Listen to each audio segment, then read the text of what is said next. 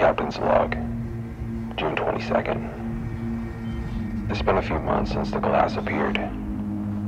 This sounds crazy.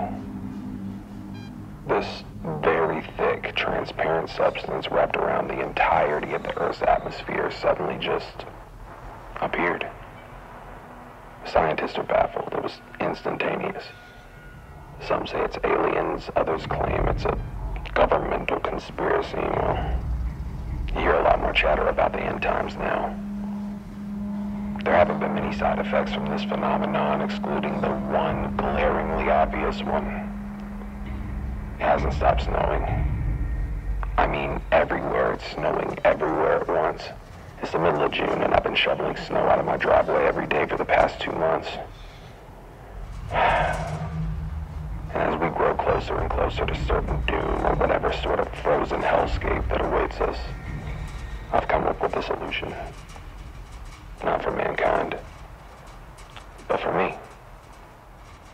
I'm going to the moon.